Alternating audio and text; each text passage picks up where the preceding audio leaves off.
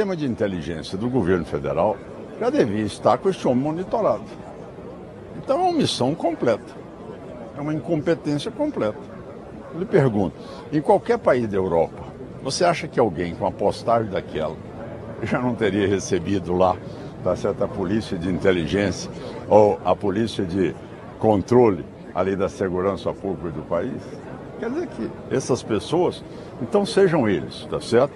É, faccionados, ou sejam eles extremistas, eles têm que saber que existe o Estado.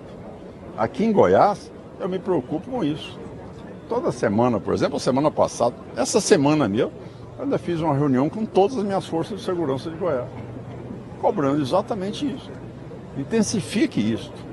As pessoas que ameaçam a, a, as mulheres, a pessoa que estão ameaçando as instituições, essas pessoas se propõem a achar que caminham pela, pela desordem, pela baderna, desrespeito ao cumprimento legal, essas pessoas têm que ser monitoradas.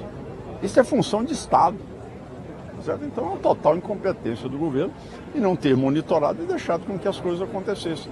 Ora, existe um fato, sim, que às vezes são imprevisíveis, mas este que já sinalizava que ia fazer, com data, com, com os locais e tudo mais, e aconteceu.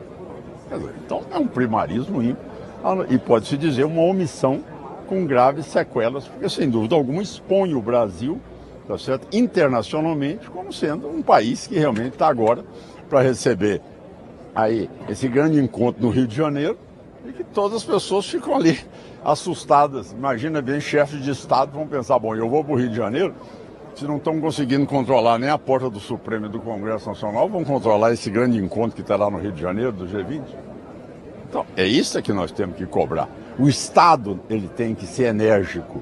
O Estado não tem que fazer concessão com bandido, com extremista.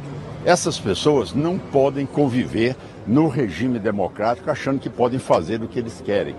Eles têm que ter a lei e tem que ter a mão pesada do Estado, com todo rigor, para as pessoas entenderem que eles estão vivendo numa democracia e, como tal, tem que ter respeito pelos outros e pelas regras que são que o Congresso Nacional determina como regras legais. É assim que eu entendo e vejo, tá certo, um, um governo que é extremamente é, complacente com o crime, complacente com o crime, tenta sempre achar